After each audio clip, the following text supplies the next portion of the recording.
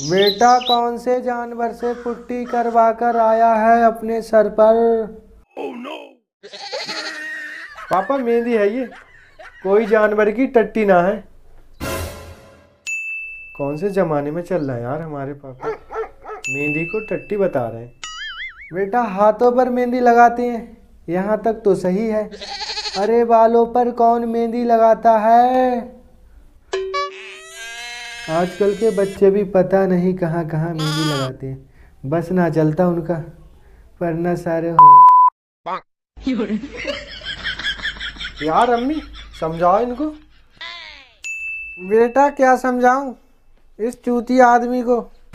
हाँ तू और तेरा बेटा ही तो समझदार है। मैं तो चूतिया हूँ। हाँ वो तो है ही।